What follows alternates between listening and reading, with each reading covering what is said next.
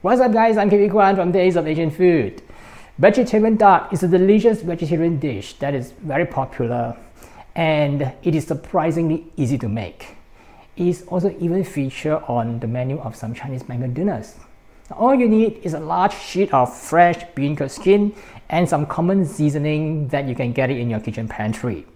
The bean curd skin will puff up and nicely brown during deep frying, creating a look and a texture that is similar to real meat. And therefore, it is also referred to as mock duck or vegetarian roast goose. I'll show you how to make this vegetarian dish in this video. Keep watching. The recipe is divided into three parts. The first part is to prepare a sauce.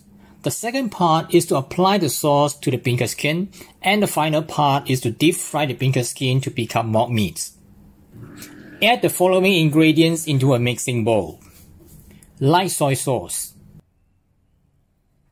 vegetarian oyster sauce, which is in fact a mushroom extract, some sugar,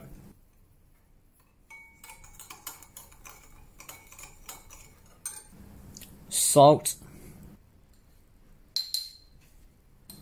Chinese five spice powder, some ground white pepper, sesame oil,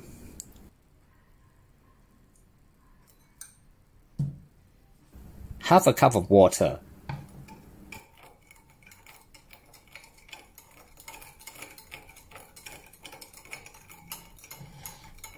Give it a mix and then heat it over medium heat in a microwave oven to dissolve the sugar.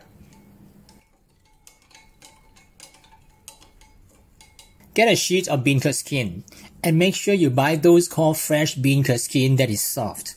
If you're getting something that is hard and crispy, which we call it fuzhu, it will break if you try to bend it. So look for dough that is called tofu yi, doupi, tofu pi, and not fuzhu. I, I know it is confusing as they are all translated as curd skin in English. Now open the sheet of curd skin, then cut it into four equal parts. Each part is slightly larger than a A4 paper.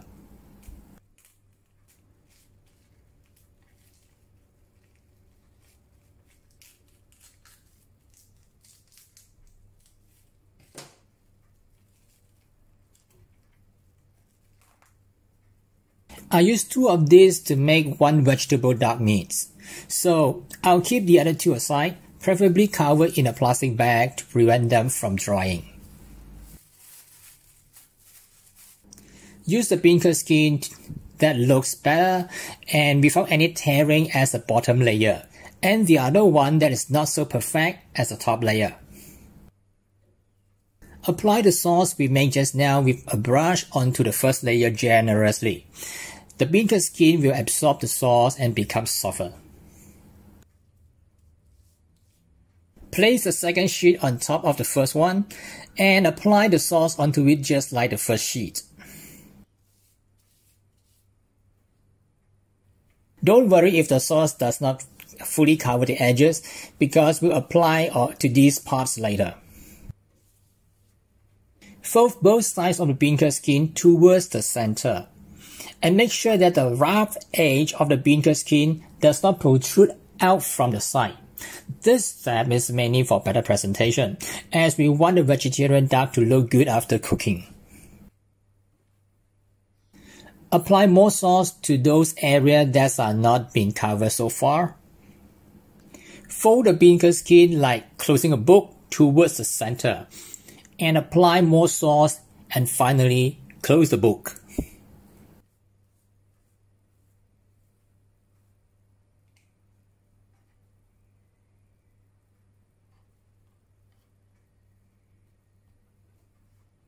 Use two bamboo skewers to pierce through the bean curd skin. The purpose is to ensure that they will not open up as they will puff up quite a lot during deep frying. Now put it aside and let it rest for about 10 minutes before deep frying. This step is to ensure that the bean curd skin has, has absorbed all the sauce. Heat some oil in a pan to about 150 degrees Celsius or about 300 degrees uh, Fahrenheit. You can either use a kitchen thermometer to monitor the temperature or insert a wooden chopstick into the oil. The oil temperature is correct for deep frying if the bubbles are rising from the chopsticks constantly.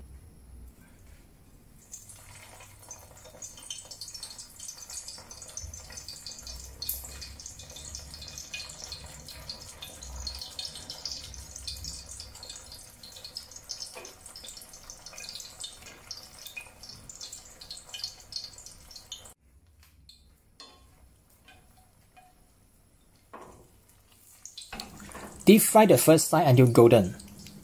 Then turn to deep fry the other side. The bean curd skin will puff up during the process and form a texture that resembles a real duck or goose meat.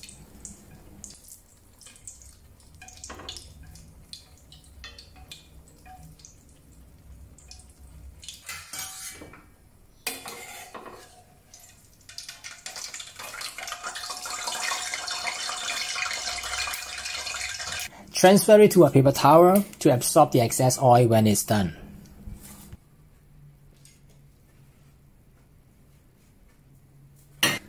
Remove the skewers and place it on a cutting board.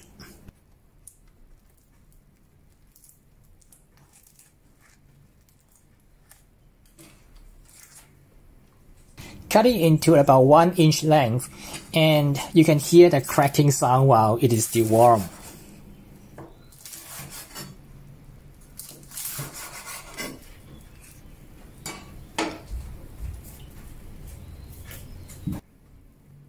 Now let me show you the texture of the vegetarian duck. It looks so tempting. Dish out and serve. It's best to serve with steamed rice or cut it into small pieces as a substitute for meat for stir frying. That's how to make this vegetarian dish that tastes and looks like real meat. If you'd like to get a recipe, I've included it in the description below the video. And don't forget to subscribe tap the notification and give me a thumbs up. And I'll see you again in some other similar video soon. Thanks for watching and bye for now.